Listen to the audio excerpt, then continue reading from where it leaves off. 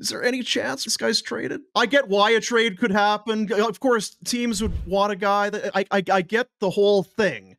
But in the real world, why wouldn't it happen? I'll ask you that. Because you don't need to trade them right now, and you still need people to play. I don't think they're in tank mode like we would like them to be. Not now, but in, in March fifth they might be. I'm not saying it can't. I'm just saying you're asking for an explanation as to why won't it.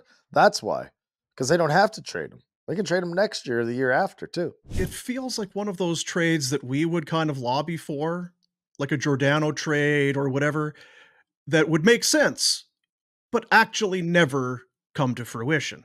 Like I said, I think Markstrom doesn't finish his career here, but I don't know if he's traded this year. And the longer they ride him, like even if you say if they March 5th, if, if he plays till March 5th, guess what?